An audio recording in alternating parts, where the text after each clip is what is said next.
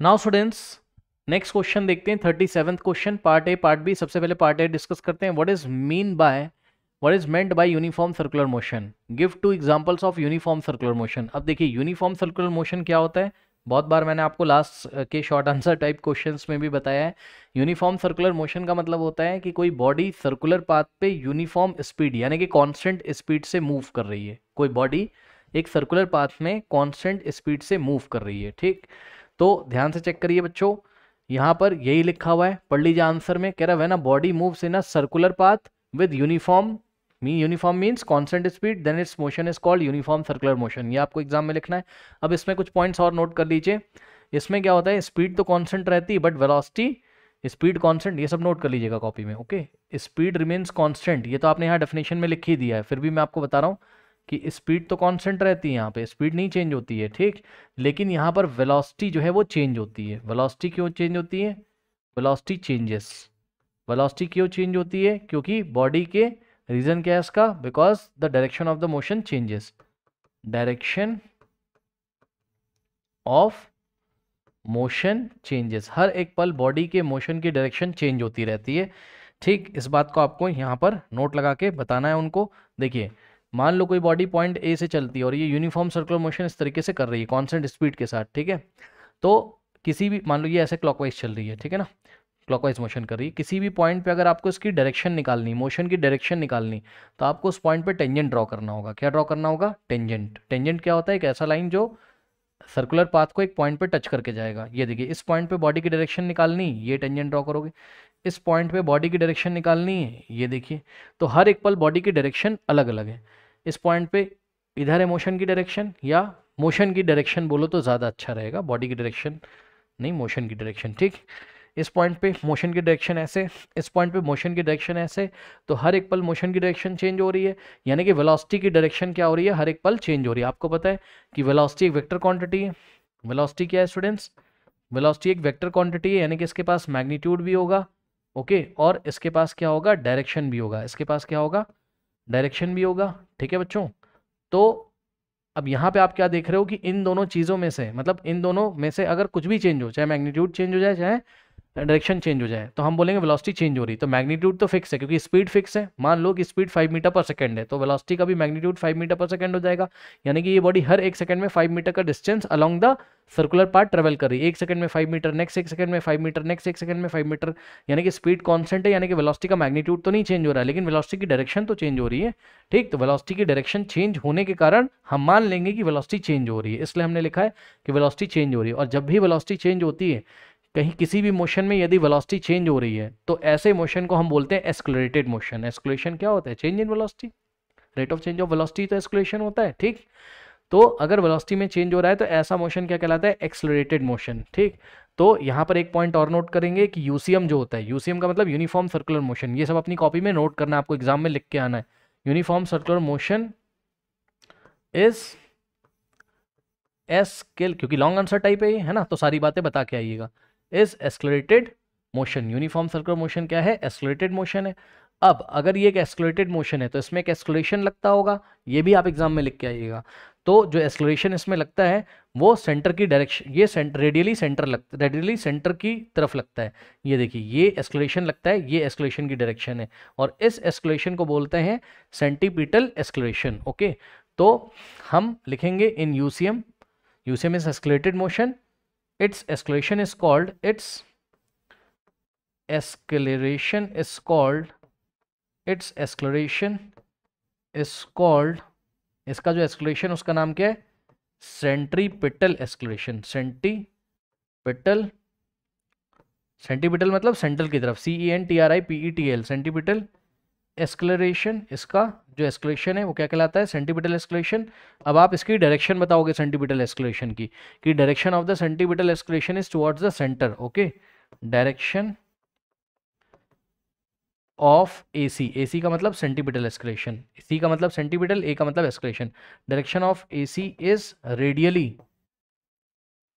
towards the centre radially towards the towards the centre इतनी बातें आपको वहाँ लिख के आनी है towards the centre okay students towards the centre ये जो सेंटीमीटर एस्कुलेशन है, ये रेडियली रेडियली मतलब रेडियस के अलॉन्ग होता है, हमेशा किधर होता है? टुवर्ड्स द सेंटर ठीक सेंटर की तरफ़ होता है, ये इस तरीके से. ये radially towards the centre like this okay ये ऐसे ठीक है स्टूडेंट्स इतनी बातें आपको लिख के आनी है. अगर आपका मन है तो उसमें आप एक और पॉइंट नोट कर सकते हो. ये आप नेक्स्ट चैप्टर में पढ़ोगे force and laws of motion में जब भी कहीं एक्सक्लेशन होता है तो वहाँ फोर्स होता है। तो यहाँ पर एक फोर्स भी हो रहा होगा ठीक है? जिस फोर्स को हम क्या बोलते हैं? Centripetal force okay so here a force acts towards the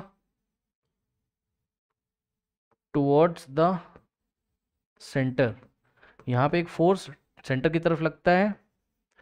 called जिसको हम क्या बोलते हैं? Called centripetal force called centripetal force इसको हम क्या बोलते हैं? सेंटीपिटल फोर्स कैसे दिखाते हैं? एफ़ और नीचे छोटा सा सी लिख देंगे। सी का मतलब सेंटर की तरफ़ एफ़ का मतलब फोर्स ओके और इसकी डायरेक्शन कहाँ होती है? रेडियली टुवर्ड्स द सेंटर मैंने आपको है जिधर एस्कुलेशन होता है, उधर ही आपका फोर्स भी लगता है। ये एफ़ क्योंकि नेक्स्ट चैप्टर में आप पढ़ोगे फोर्स का फॉर्मूला क्या होता है? फोर्स का फॉर्मूला होता है F is equals to M into A M क्या है? बॉडी का मास है ए क्या है? एस्कुलेशन है. तो एफ़ सी सेंटीपिटल फोर्स कितना हो जाएगा? मास इंटू सेंटीपिटल एस्क्लोरेशन ये हो जाएगा इस तरीके से ओके अब ये जो सेंटीपिटल फोर्स है, जो कि सेंटर की तरफ़ लगता है, यही बॉडी को लगातार सर्कुलर पाथ में घुमाता रहता है। इस बात को आप अपनी नॉलेज के लिए ध्यान में रखिए, क्योंकि देखिए, इस पॉइंट पे बॉडी इधर जाना चाहती कौन है जो उसको पकड़ के इधर घुमा देता है, ऐसे टर्न करा देता है। जवाब है सेंटीपिटल फोर्स इस पॉइंट पे इधर जाना चाहती है, लेकिन लगातार सेंटीपिटल फोर्स सेंटर की तरफ़ लगता है, जिसकी वजह से सर्कुलर पाथ को नहीं छोड़ती है। एक बात और सुन लीजिए जाते जाते सेंटीपिटल फोर्स कोई नया फोर्स नहीं होता, ये सिस्टम का ही फोर्स होता है। मतलब सिस्टम में ही पहले से कोई फोर्स काम कर रहा होगा, जो सेंटीपिटल फोर्स की ड्यूटी करेगा। जैसे कि, अगर यहाँ पे अर्थ है, ये क्या है? अर्थ है, ठीक? अर्थ सन के चारों तरफ़ रिवॉल्व कर रही है, ये सन है। ठीक तो आपको पता है अर्थ और सन के बीच में ग्रेविटेशनल फोर्स लगता है, नहीं पता है तो सुन लो। अर्थ और सन के बीच में एक तरीके का ग्रेविटेशनल फोर्स लगता है जो आप ग्रेविटेशन वाले चैप्टर में पढ़ोगे, ठीक? तो ये जो ग्रेविटेशनल फोर्स होता है ना, यही सेंटीपिटल फोर्स की ड्यूटी कर रहा होता है। और सुनिए, किसी गोल चक्कर पे आप अपनी बाईसाइकिल को एक कॉन्स्टेंट स्पीड से चला रहे हो, ठीक? या अपनी कार को आप किसी गोल चक्कर पे, चौराहे पे, गोल चौराहे पे से गोल गोल गोल गोल आप सर्कुलर पाथ में ऐसा कॉन्स्टेंट स्पीड के साथ घुमा रहे हो, ठीक? तो सेंटीपिटल फोर्स की ड्यूटी कौन दे रहा है पता है? आपके कार का जो टायर है, आपके कार का जो टायर है ना, कार के टायर्स होते हैं व्हील्स में टायर्स होते हैं, ठीक? तो कार के टायर्स और रोड के बीच में लगने वाला जो फ्रिक्शनल फोर्स है, वो सेंटिपिटल फोर्स की ड्यूटी दे रहा है। और देखिए मान लीजिए मैंने कोई स्ट्रिंग ले ली ओके कोई स्ट्रिंग है मेरे पास, ये देखिए इस तरीके से, अगर आपने हमारे वीडियोस स्टार्टिंग से फॉलो किए होंगे तो ये सब कॉन्सेप्ट आपको आते होंगे। कमेंट करके बताओ कितने लोगों को आते हैं स्टार्टिंग से देखा होगा इस चैन का सोल्यूशन ठीक? तो ये देखिए, इस तरीके से अगर आप इसको किसी स्ट्रिंग में स्टोन ऐसे घुमाओगे अगर, ठीक? तो यहाँ पे सेंटर की तरफ़, ठीक? सेंटर की तरफ़ स्ट्रिंग का टेंशन काम करता है। Tension of the string centre की तरफ़ होता है तो ये टेंशन भी एक तरीके का फोर्स होता है। तो ये टेंशन है, सेंटीपिटल फोर्स की ड्यूटी कर रहा है यहाँ पर, ओके? तो सेंटीपिटल फोर्स कोई न्यू फोर्स नहीं होता है, ये सिस्टम का ही फोर्स होता है, ओके? स्टूडेंट्स, ध्यान रखिएगा इस बात को। तो इतनी बातें आपने लिख दी, अगर क्लास नाइन्थ में तो काफ़ी है, जो मैंने बोला उसके बारे में नहीं भी लिखोगे अगर कोई दिक्कत नहीं है, बट इतनी बातें आप ये यूनिफॉर्म सर्कुलर मोशन के बारे में आप लिख सकते हो। अगर आपको सेंटीपिटल फोर्स के बारे में नहीं भी बताना है, कोई बात नहीं, आप यहाँ तक तो ज़रूर लिखोगे, सेंटीपिटल एस्कुलेशन तक तो आप ज़रूर लिखोगे ओके स्टूडेंट्स तो ये हो गया आपका पार्ट ए का एक्सप्लेनेशन यूनिफॉर्म सर्कुलर मोशन का। इसके बाद उन्होंने पूछा था, इसी पार्ट ए में ही पूछा था gift two example of uniform circular motion uniform circular motion के टू एग्ज़ाम्पल तो नंबर वन कोई आर्टिफिशियल सेटेलाइट है जो यूनिफॉर्म सर्कुलर मोशन कर रही है अर्थ के चार तरफ़? ऑब्वियसली यहाँ अर्थ है सेंटर पर क्या है? अर्थ है, ठीक? और ये अर्थ है, यहाँ सेंटर पर क्या है? अर्थ है ओके और यहाँ कोई सेटेलाइट है ये सैटेलाइट है और ये सैटेलाइट एक कांस्टेंट स्पीड के साथ अर्थ के चारों तरफ़ घूमती रहती है ओके ये क्या है आपका? ये क्या है आपका? ये है स्टूडेंट्स एक सैटेलाइट आर्टिफिशियल जो इंसानों ने बनाई है। तो ये कॉन्सेंट स्पीड से लगातार अर्थ के चारों तरफ़ घूमती रहती है। इस सैटेलाइट के डिफरेंट उद्देश्य होते हैं तो वो आपको फोकस नहीं करना, वो सब आप पढ़ोगे इलेवेंथ क्लास में। नाउ अब देखिए ज़रा नेक्स्ट जो आप एग्ज़ाम्पल दे सकते हो, वो दे सकते हो मोशन ऑफ़ अ साइक्लिस्ट इसको आप थोड़ा सा करेक्शन कर लो इसमें। Motion of a cyclist on a circular track moving with constant speed ये भी लिख दीजिएगा। कोई, भाई, कोई साइक्लिस्ट है, वो इस तरीके से सर्कुलर पाथ पे घूम रहा है, चल रहा है, लेकिन उसकी स्पीड क्या होनी चाहिए? कांस्टेंट तभी तो यूनिफॉर्म सर्कुलर मोशन का एग्ज़ाम्पल होगा। तो motion of cyclist on a circular path moving with moving with a constant speed speed नहीं चेंज होनी चाहिए तभी यूसीएम करेगा वो यूनिफॉर्म सर्कुलर मोशन ओके अब इतनी बातें आप लोग नोट कर लीजिए फिर मैं आपको उसका पार्ट टू करके दिखाता हूँ यानी कि पार्ट बी का जो न्यूमेरिकल वैल्यू वाला है ना सॉल्यूशन करके दिखाता हूँ न्यूमेरिकल का ओके नोट कर लीजिए नोट कर लीजिए स्टूडेंट्स वीडियो पॉज करके नोट करें फटाफट। वीडियो पॉज करके नोट कर लें बच्चे। कर लिया वेरी गुड चलिए। सो so, मैं मानता हूँ कि आपने कर लिया होगा। वैसे तो वीडियो हमेशा अवेलेबल रहेगा, आप कभी भी देख सकते हो, कभी भी समझ सकते हो। चलिए, आइए। अब हम देखते हैं स्टूडेंट्स इसमें पार्ट बी का आंसर ठीक है, जो कि एक तरीके का न्यूमेरिकल है। देखते हैं इसको हम कैसे सॉल्व करेंगे ओके सो चलिए, देखिए बच्चों। पार्ट बी में कह रहा है the tip of a second hand of a clock take 60 seconds to move once on a circular dial of the clock okay ठीक है? अब देखिए बच्चों, ये एक सर्कुलर क्लॉक है। ठीक है? आपको पता है, ये ऐसे करके क्लॉक होती है। और इसकी जो सेकेंड वाली डायल है okay the tip of a second hand of a clock that take sixty second okay तो ये देखिए, ये जो सुई है आपकी सेकेंड्स वाली, ये ऐसे, है ना? अब आपको पता है कि ये जो सेकेंड वाली सुई होती है, ये क्या करती है? ये सिक्सटी सेकेंड में वन कंप्लीट रिवोल्यूशन कर लेगी। यहाँ ट्वेल्व लिखा होता है है ना? और ये सेकेंड वाली सुई यहाँ से घूमकर ये वापस यहाँ पर आ जाती है। ठीक? कितना टाइम लगता है इसमें? टाइम सिक्सटी सेकेंड लगता है, सबको पता है? वन मिनट में ये पूरा घूम जाती है एक चक्कर। सो सिक्सटी सेकेंड में ये पूरा घूम के वापस ट्वेल्व पे आ जाएगी सिक्सटी सेकेंड में। टाइम कितना दिया? Sixty second. On a circular dial of a clock, okay? तो इसकी जो टिप है, ये सर्कुलर पाथ बनाएगी ऐसे ऐसे ऐसे। ठीक? If the radius of the dial of the clock be 10.5 centimetre बात समझो समझो, देखो देखो देखो देखो। पता है क्या? ये तो वाइट कलर का जो मैंने आपको दिखाया है तो उनका क्लॉक का स्ट्रक्चर है, कोई दिक्कत नहीं है है ना? लेकिन यहाँ पर क्या है कि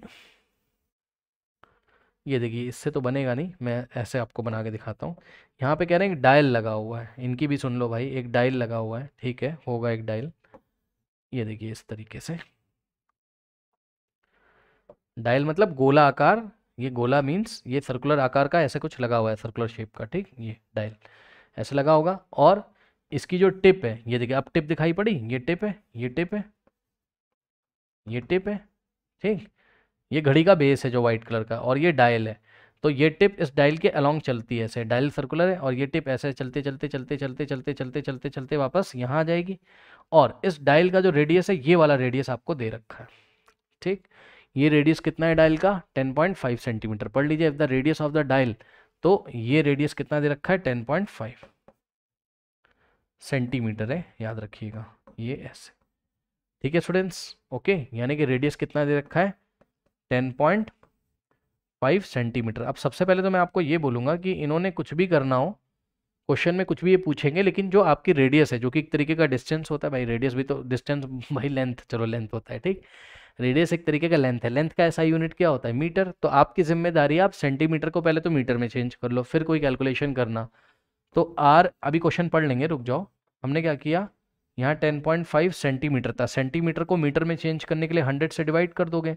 जैसे ही 100 से डिवाइड करोगे तो रेडियस किसमें आ जाएगा? मीटर में। अब जैसे ही 100 से डिवाइड करोगे तो आर इज़ इक्वल्स टू क्या हो जाएगा? ये वाला डेसिमल टू प्लेस लेफ़्ट में आ जाएगा। यानी कि हो जाएगा ये वन ज़ीरो फाइव वन से पहले क्या आ जाएगा? डेसिमल डेसिमल से पहले क्या आ जाएगा? ज़ीरो तो इस तरीके से जो रेडियस है वो आपकी मीटर में आ जाएगी। सबसे पहला काम तो यही कर लेना कि रेडियस को आप किसमें कन्वर्ट कर लेना? मीटर में। ओके स्टूडेंट्स कन्वर्ट करिए कॉपी में फटाफट।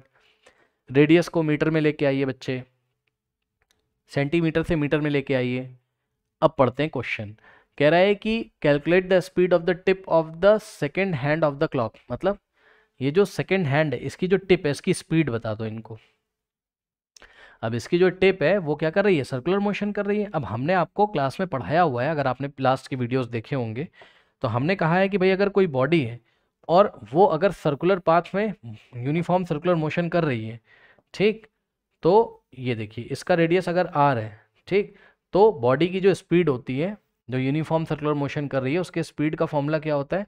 इसकी रेडियस आर उसके स्पीड का फॉर्मूला क्या होता है? वो होता है two pi R divided by time taken two pi R divided by time यही होता है स्पीड का फॉर्मूला अगर कोई body circular motion uniform circular motion कर रही है तो उसके स्पीड का फॉर्मूला क्या होता है? डिस्टेंस अपॉन टाइम डिस्टेंस कितना है? Two pi R divided by time क्या बताया था क्लास में आपको? कि ये कोई पॉइंट ए से स्टार्ट करती बॉडी और वापस घूम के ए पॉइंट पर जाती है। और वापस इसको यहाँ से यहाँ तक आने में टाइम कितना लगता है अगर? टी तो यहाँ से यहाँ तक का डिस्टेंस कितना है इसका? सरकमफेरेंस के इक्वल तो two pi R divided by T ठीक? अब यहाँ से स्पीड इज़ इक्वल्स टू निकाल लीजिए टू इंटू पाई पाई का वैल्यू क्वेश्चन में आपको ट्वेंटी टू बाय सेवन दिया तो आपको लेना पड़ेगा। ठीक पाई की जगह आपने रखा twenty two by seven into R R अभी अभी आपने निकाला है, अब इस डायग्राम को मैं यहाँ से हटा देता हूँ। इसका कोई काम है नहीं। ओके ये समझाने के लिए जस्ट मैंने आपको बताया था।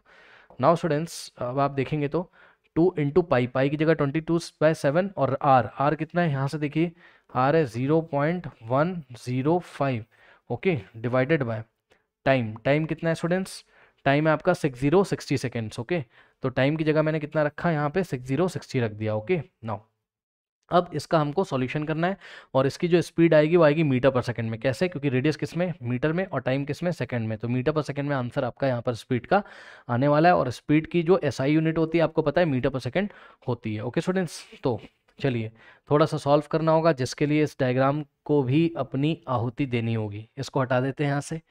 ठीक, चलिए। अब आप ये बताइए बच्चों कि ये देखिए ट्वेंटी टू बाय सेवन है तो क्या ये seven zero point one zero five को क्या कैंसिल कर देगा? यस सर, कर देगा। ये हम आपको करके दिखाते हैं। ये देखिए, zero point one zero five divided by अगर आप सेवन करोगे अब कुछ बच्चे नहीं कर पा रहे होंगे तो यहाँ से पॉइंट हटा दो और यहाँ पहले थाउज़ेंड बना लो नीचे। क्यों? क्योंकि पीछे से वन, टू, थ्री डिजिट छोड़ के डेसिमल लगा हुआ था, ठीक? तो यहाँ से क्या आ जाएगा? इस ज़ीरो का कोई मतलब नहीं, क्योंकि वन से पहले तो one zero five divided by seven into thousand, चलो ऐसा हो गया। अब आप एक काम करो, सेवन वन जा सेवन होता है, सेवन वन जा सेवन होता है, ठीक? अब टेन में से सेवन चला गया, बचा थ्री थ्री जाएगा फाइव के पास, थर्टी फाइव, सेवन फाइव से थर्टी फाइव तो कितना हो गया? फिफ्टीन फिफ्टीन डिवाइडेड बाय कितना आ गया? थाउज़ेंड आ गया। आया कि नहीं आया? तो आप, कोई दिक्कत नहीं है। ये इतना पोर्शन जो आपने सॉल्व किया अभी, मैं आपको दिखाता हूँ बच्चों। ये देखिए, इतना पोर्शन जो आपने अभी सॉल्व किया, ये, इसका जो आंसर आया है, जो आया है, सो आप लिख लो, कोई दिक्कत नहीं है, ओके? तो इसका जो आंसर आया, ध्यान से चेक करें, टू इंटू ट्वेंटी टू तो ऐसे ही रहेगा। ठीक, इंटू में इसका जो आंसर आया है, zero point one zero five by seven का, इसका आंसर आया फिफ्टीन अपॉन थाउज़ेंड। तो यहाँ हम लिखेंगे फिफ्टीन अपॉन थाउज़ेंड, ओके? और डिवाइडेड बाय नीचे कितना है, सिक्सटी है, ओके स्टूडेंट्स? इस तरीके से। अब देखो, ये थाउज़ेंड आएगा और नीचे मल्टीप्लाई कर देगा। तो यहाँ से हो जाएगा आपके पास two into twenty two into fifteen और डिवाइडेड बाय नीचे कितना हो जाएगा? नीचे हो जाएगा सिक्सटी इंटू कितना हो गया? थाउज़ेंड। ये लीजिए, क्या दिक्कत है? अब इसको थोड़ा सा और सिंप्लीफाई कर लेंगे तो आसानी यहाँ हमारे लिए बढ़ जाएगी। कैसे? Two into twenty two into fifteen. ध्यान दे बच्चे, देखो, हमने सिक्स इंटू टेन लिख दिया इसको, सिक्सटी को। और साथ में क्या आ गए थाउज़ेंड है। ठीक, अब इसको इतना देखिए, सिंप्लीफाई करने के बाद क्या करेंगे हम? इसको थोड़ा सा इरेज कर रहे हैं। ओके नाउ स्टूडेंट्स ध्यान देंगे बच्चे। देखिए, कितना हो गया हमारे पास? अभी तक हम स्पीड निकाल रहे हैं। कितना आ गया स्पीड? Is equals to? अब थोड़ा सा यहीं पे कैंसिल कर दूँ, समझ जाओगे? देखो, टू वन ज़ा तो टू और टू थ्री ज़ा सिक्स, थ्री वन ज़ा थ्री और थ्री फाइव ज़ा होता है फिफ्टीन। तो ऊपर आ गया twenty two into five. Twenty two into five तो हो गया ऊपर और डिवाइडेड बाय, नीचे कितना हो गया? टेन इंटू थाउज़ेंड कितना होता है? Ten thousand. तो नीचे आ गया आपके पास कितना? Ten thousand. तो यहाँ से आ जाएगा speed is equals to twenty two into five so twenty two into five five two ज़ा होता है टेन वन जाएगा फाइव टू ज़ा ten eleven one one zero so one one zero divided by ten thousand okay students ये वाला zero इससे cancel हो जाएगा और यहाँ से स्पीड जो आ जाएगी, वो आ जाएगी कितनी? One one divided by one thousand अब नीचे वन टू थ्री ज़ीरो है, इसलिए हम क्या करेंगे? हम पीछे से वन टू थ्री डिजिट छोड़ के डेसिमल लगा देंगे। वन डिजिट वन डिजिट और एक ज़ीरो बढ़ा लिया और यहाँ डेसिमल और फिर से ज़ीरो ये लीजिए। तो zero point one one metre पर सेकेंड ठीक है स्टूडेंट्स मीटर पर सेकेंड तो जो टिप है सेकेंड हैंड की जो टिप है, उसकी जो स्पीड है, वो zero point zero one one meter per second ये मीटर पर सेकेंड लिखा हुआ है। ओके नोट कर लीजिए।